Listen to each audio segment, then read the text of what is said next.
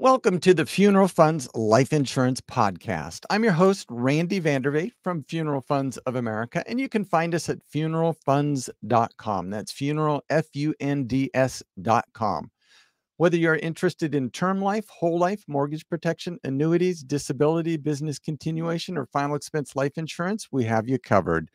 Our team of experienced professionals will guide you through the complexities of insurance products to help you make an informed decision. In this podcast, I'm going to be discussing factors that affect life insurance premiums. Let's dive right in. Our first topic today, and by far the most obvious, I think most people would certainly understand this one that's going to affect your life insurance premium, is your age and your health.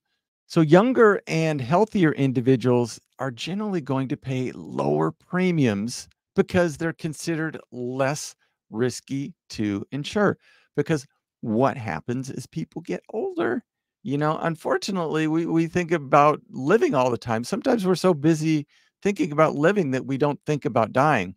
You know, but every day we live, that puts us closer to to to death. I'm not trying to be a negative Nelly, but you know, statistically, you know, a 30 year old or a 40 year old or a 50 year old has a lot longer to live than a 70 or an 80 year old.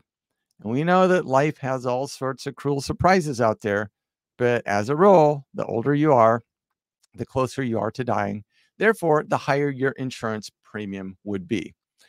One other thing happens as we get older too is we typically start like racking up some medical problems, right? And some of them we have no control over. You know, a lot of us are just genetically predispositioned to things that our parents or grandparents had. And then some of us are we just we just don't treat our bodies like the temple that, you know, I guess we probably should in hindsight. You know, eh, we, we have un, really kind of unhealthy habits, sometimes smoking, most obvious one, drinking a lot, you know, over drinking, I should say. And uh, you know, obesity, you know, height and weight you know, it's a big issue in the United States. Uh, diabetes, just uh, COPD, congestive heart failure, just all sorts of things can happen as we just make our our way through this journey called life. And the healthier you are, the better your insurance premiums get. Now, I don't want you to lose all hope if you have some health issues because that's why a company like Funeral Funds of America is so important. We work with a whole bunch of different insurance companies, and that way we can offer insurance options to just about anybody. Now, you know, the pricing is going to be different on those options. I, I do want to make sure that's clear. But the, the the second topic I really want to talk about is kind of coverage amount and policy type because your your age and your health is going to determine the coverage amount and policy type. So, you know, higher coverage amounts. Uh, you know, if you want something in the like millions of dollars worth of insurance or hundreds of thousands, we would typically be looking at a term life insurance policy. So, you know, some people might just want a fifty thousand dollar term, and uh, you know, we help some people that are needing you know five to ten to fifteen to twenty million dollar type term insurance policies. And those, depending on the individual, that can be for an a, a person, or we're helping a lot of businesses or business ventures out there that you know, especially when they're just starting up and there's two or three people in the in the company. If one of them passes away, there's some biz, business continuation policies that uh, we work with people on just to make sure that just because somebody died, one of the owners died, that the business doesn't die with them. So just keep in mind there's a bunch of different options. Different policy types are out there. There's term life, there's a whole life. Term life is temporary coverage. That can be for 5, 10, 15, 20, 30 years. Whole life coverage is whole life. Uh, covers all the way up until age 121 with most companies. Nobody's outlived one yet. And then there's other policies out there where you can adjust the premium kind of up and down depending. That'd be a universal life. So they each are very specialized insurance products and they each need to be recommended and utilized responsibly. So, another factor is gender. You know, the gals out there typically outlive us guys. You know, I would have to say that You know, as a rule, those girls don't do as many dumb things as us guys. I know that's an overgeneralization generalization, but I'm kind of looking at the person in the mirror as I as I specify that. But yeah, you know, on average, women are going to live probably you know anywhere from four to eight years longer than male. So um, women, as a result, have lower premiums. Now, some other factors are occupation and lifestyle.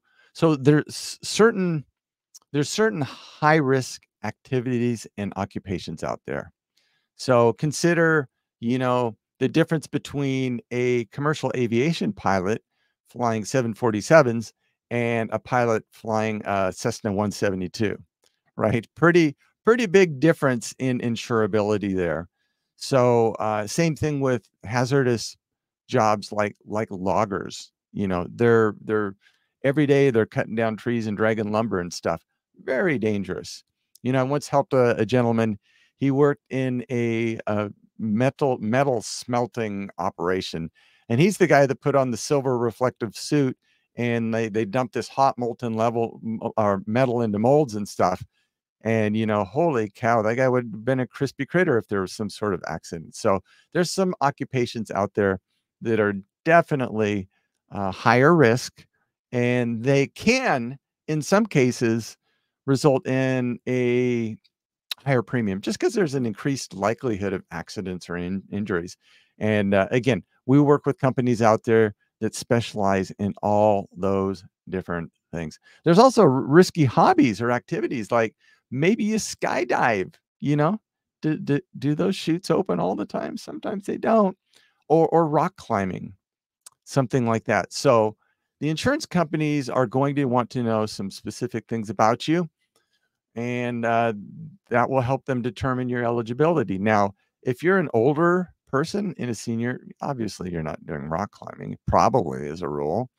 But uh, we work with uh, companies for the senior market that really don't ask many of those those questions like skydiving or rock climbing because they just know that those people don't do that. And even if you did skydive and rock climb or fly an airplane, they wouldn't care. They wouldn't care because they don't ask the question. So it's really policy specific. Another thing the insurance companies will ask sometimes, depending on the policy, is if you have a family history of certain hereditary diseases or medical conditions, you know, specifically, some insurance companies may take a look at that, and that may factor into their decision. And that doesn't mean it's all doom and gloom if you have any of those things going on. It just means that we need to find an insurance company that doesn't ask those questions or doesn't care about those things that have gone on in the past in your family tree. Another factor in eligibility that's going to affect your life insurance premiums is the state that you live in. Some states are just more expensive and have higher regulatory requirements than other states. You know, California, yeah, for sure. New York is a biggie. Holy cow, they can be a real bear up there in New York.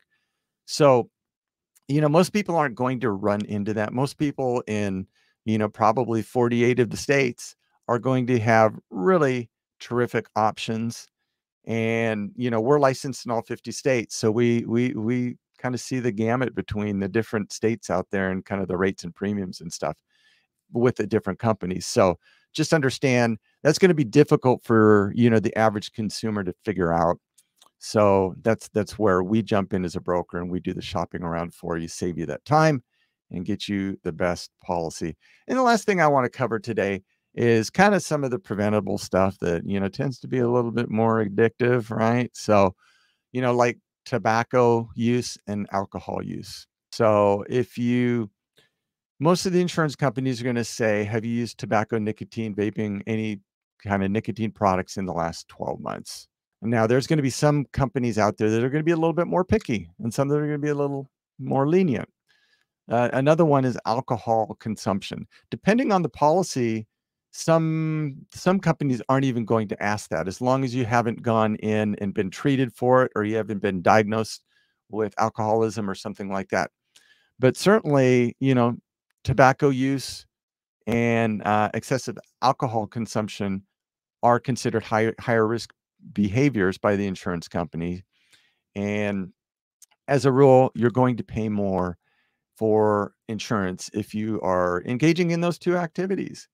So it's just important to note that, you know, all of the factors I talked about today can vary between the different insurance companies.